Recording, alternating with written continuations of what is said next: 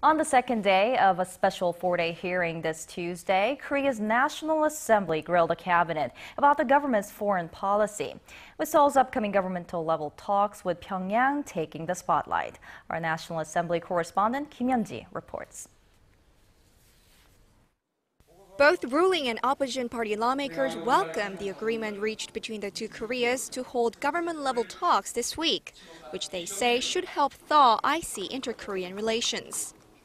The talks, the first of their kind in six years, will take place this Wednesday and Thursday in Seoul.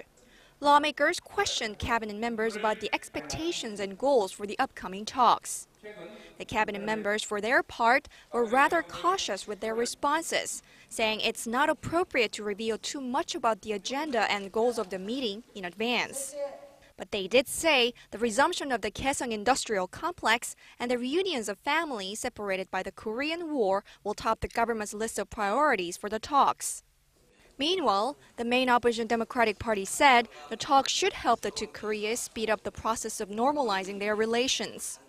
DP lawmakers urged the Park administration to honor the spirit of the June 15th and July 4th inter-Korean declarations and consider co-organizing an inter-Korean celebration of the anniversaries of the two agreements, a matter originally proposed by Pyongyang.